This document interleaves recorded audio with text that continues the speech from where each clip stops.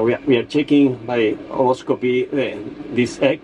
This is uh, now has a 40, 40 days uh, in incubation, and now the the membrane that goes through the air sac is now broken, and the chick is pulling pulling the membrane to try to to get out, but it's has been here like this 24 hours. So now it's time to open the the shell. The egg of the the red-necked ostrich we have just uh, taken out from the incubator after 40 days.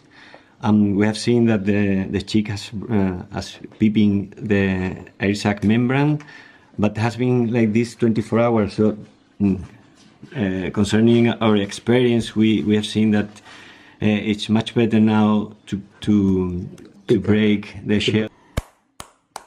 Now we are going to to break the, the shell a bit, just in the in the area where the um, Air. air, air sac is, in order to avoid damaging Damage for the chick. the cheek. Okay, here we can see that the the cheeks ha, has broken the the It's the air sac membrane, so it's peeping peeping, yeah. But he was unable to to break the shell. So we, we think uh, that the, the problem is the, the humidity in the incubator is very high. It's uh, not below 20%, it's almost uh, 40 or 50%, which make the uh, chick to be uh, full of uh, liquid.